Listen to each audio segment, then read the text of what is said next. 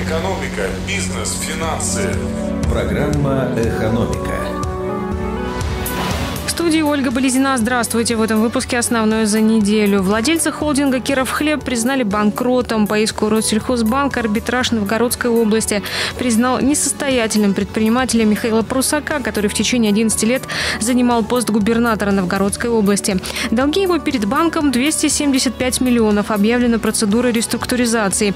А в арбитражный суд начинают поступать новые иски банка и налоговой. Их общая сумма превышает 6 миллиардов рублей. Компания Компания «Агропром Инвест», которую возглавлял Михаил Прусак, стала новым собственником Киров Хлеба в 2011 году, напоминает навигатор. Через два года удалось возобновить производство курятины за счет кредита Россельхозбанка. Но теперь 100% активов предприятия в залоге у банка. А Кировский арбитражный суд рассматривает иски о банкротстве птицефабрик Киров Хлеба. Программа «Экономика». Должники по налогам за землю и жилье заплатили 145 миллионов. С начала года сумма задолженности физлиц по имущественным налогам снижена на 20%, заявляют в Кировском управлении налоговой службы. Там отмечают, что взыскивать вовремя неуплаченные налоги им помогают совместные рейды с судебными приставами. Примерно 27 миллионов удалось собрать именно в результате таких акций. Узнать о долгах можно в МФЦ. Напомню, туда нужно обратиться с паспортом. При наличии долга там же его можно оплатить. Экономика.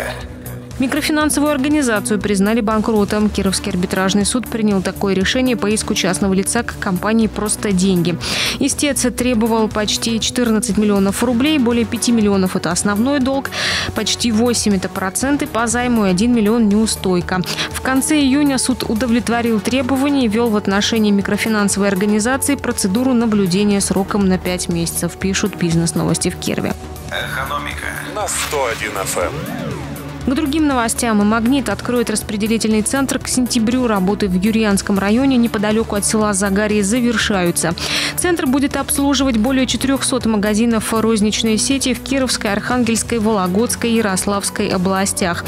Сейчас идет набор персонала, пишет навигатор. В строительство распредцентра «Краснодарский ритейлер» инвестирует порядка полутора миллиардов рублей. Большие надежды на проект возлагают власти Юрьянского района, поскольку он создаст до полутора тысяч новых рабочих мест. По стране у «Магнита» 23 распределительных центра. Экономика. На заводе «Маяк» сменился гендиректор. Такое решение принял Совет директоров предприятия. Новым руководителем избран Виктор Жилкин, ранее работавший заместителем гендиректора по экономике и финансам. В свою очередь Сергей Смирнов стал председателем Совета директоров Кировского завода «Маяк». Программа «Экономика». Кировчан предупреждают о пене за неуплату налога на доходы. 17 июля истекает срок уплаты за 2016 год.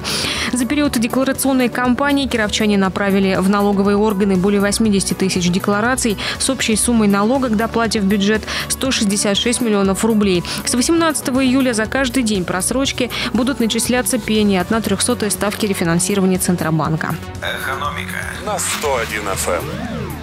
Напоследок, коротко несколько цифр. В семь раз больше денег от своей прибыли направят в областной бюджет Кагупы в этом году по сравнению с прошлым – 180 миллионов вместо 25.